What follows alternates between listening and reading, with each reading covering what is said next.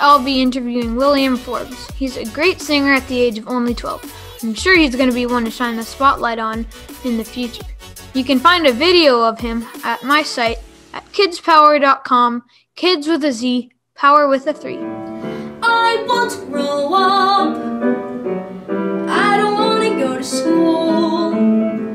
Just to learn to be a parent and recite a silly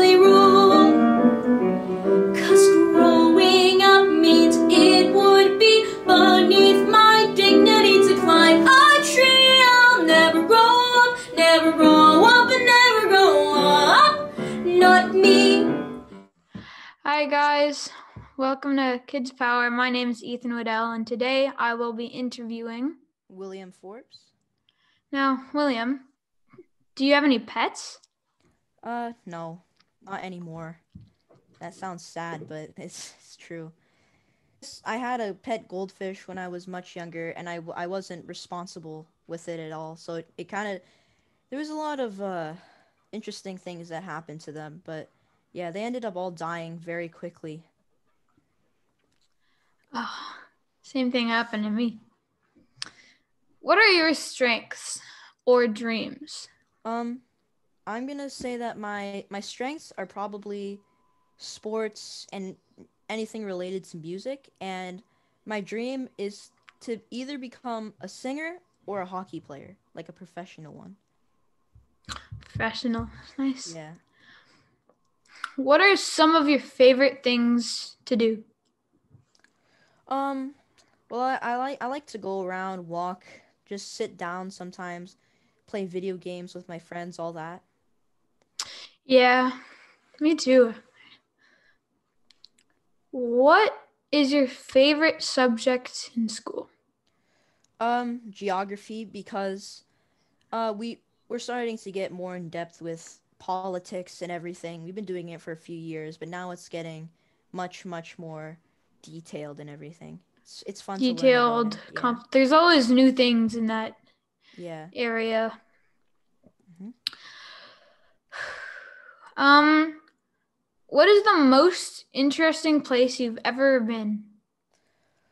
Um pro Aruba because there there's a lot of interest it, it the weather there first of all is amazing. Like it, it's like the perfect weather.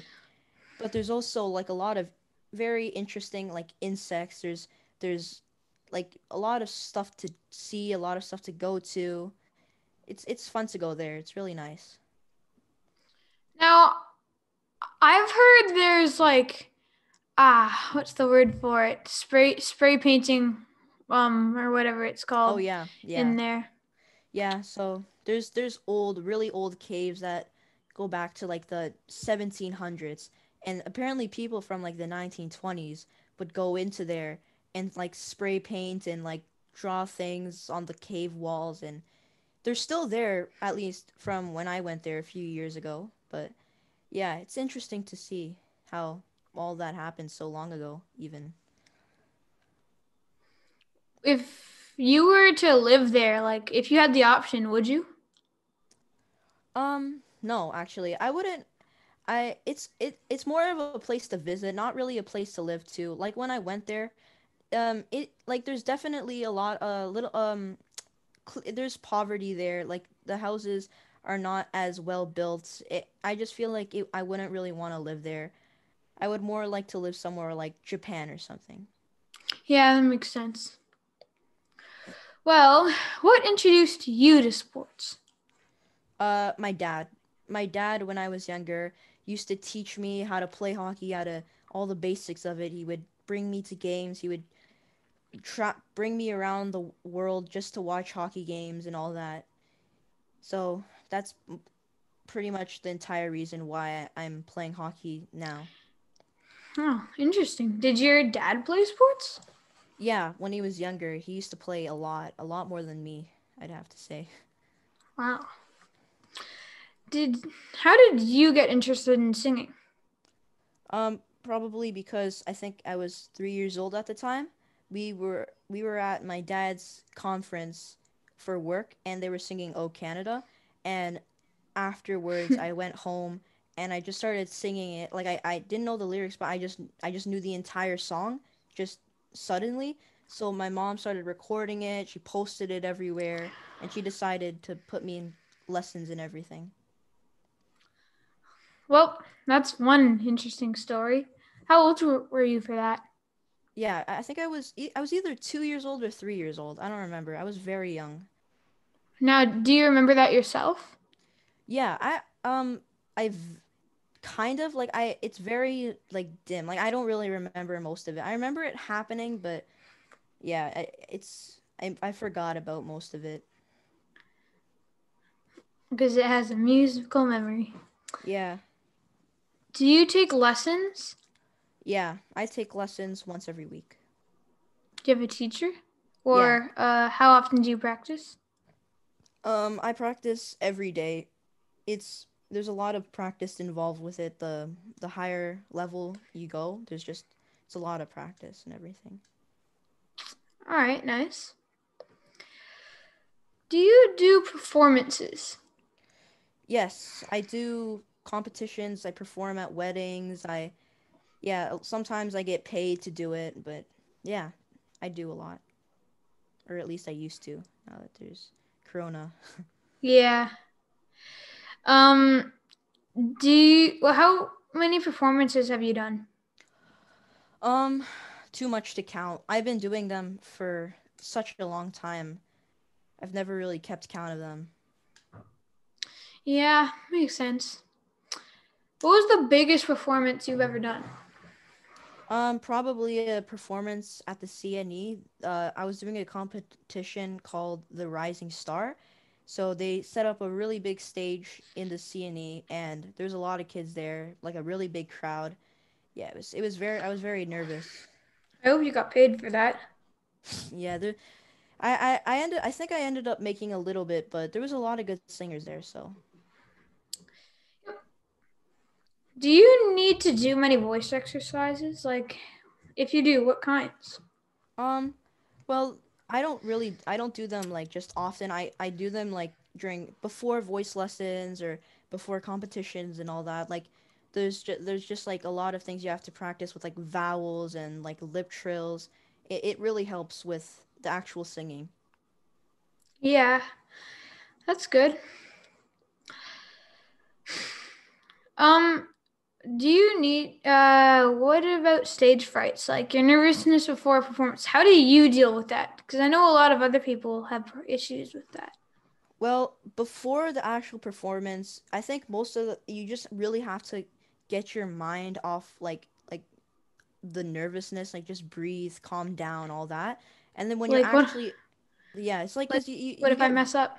Yeah, just you just don't think about that because that's if you think about that, the chances of you actually messing up are gonna be pretty high. So, but then when you're actually on the stage, I I usually just don't look at the big crowd. I don't look at their faces. I don't want to see their expressions or anything. But yeah, I just look off into the distance. I look off. I look into the look at the judges or something like that. I just don't want to. I don't want to. I usually my mind just tells me that people are gonna judge me. But yeah, No point being overwhelmed, right? yeah. Um, does singing help you as a person? Like, does it make you feel happier? Yeah. Yeah, there's there's definitely moments when you're either sad or just bored, right? You just want to you you just want to do something. So usually I would go to do something on like the guitar or like the piano or just sing or learn something new or listen to music. It really helps with all that. So you're a musician. What's your favorite song? Um pretty much anything by this guy named Daniel Caesar. He's he's uh not that famous, but yeah, he he he's a little bit popular, not that popular, but yeah, his music, his voice, I I really like it. Sounds He's really nice. reasonably known. Yeah. Um, if you could meet, or if you could meet anybody in the world that's famous, who would it be? Um well, I've never really had like the desire to meet anybody famous. I I I just feel like as as you as I go on, I'll meet I'll I'll definitely meet people who are famous, but yeah, I've never really wanted to meet a specific person. Yeah, I guess that makes sense. Me neither. Um, what recommendations do you have to help other young singers like you? Um, well, I would say you need to practice a lot and never give up on yourself because sometimes you just want to give up, you don't want to practice, you don't want to sing, but if you have hope in yourself, then you're obviously going to continue and the more you practice, the more likely you're going to get to where you want to be. Yeah, I guess you need to want to do it. Yeah. Who inspires you? Like who who makes you want to be good at your dream? My Singing. mom. My mom Your for mom. sure because my my mom she practices a lot even when she was younger Mhm. she was told like focus on focus on school focus on on something else other than what she actually loved which was singing and even to this day she continues to practice every single day just at any time possible she will try to practice so that really I guess inspires me And she helps you with it. Like maybe she doesn't want it to repeat through you. I suppose. yeah she she really she help she helps me a lot with it like she finds a lot of the competitions and all that she's like my manager basically That's good. How are you coping with COVID? Because I understand you can't really sing anymore uh, outside, even with masks.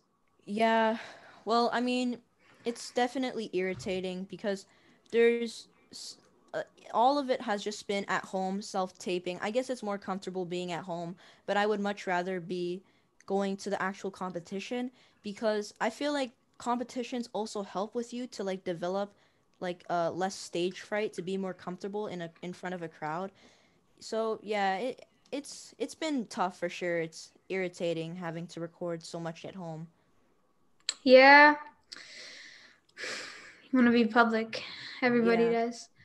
What advice do you have for other kids that are trying to get started on their dreams? Like it's, it doesn't need to be singing. It it can be uh, sports. It can be it could be singing. Like Well, I feel that you should get somebody or like an instructor or somebody who has a lot of experience in what you're trying to do to help you because there's a lot of things that you have to learn for sports like techniques and and you, there's a lot of things you need to practice that might not seem really important or anything but until later in life. yeah because then you start to realize like oh i should have practiced this before and all that Yeah. Um. Do you have anything you want to say? Like it can be anything. Yeah. If a if you're at a competition or anything and the judge looks at you funny or looks looks at you like like you you're not doing a good job, don't think about it so seriously because usually they're a lot older. The younger judges won't really do that, but the older judges will.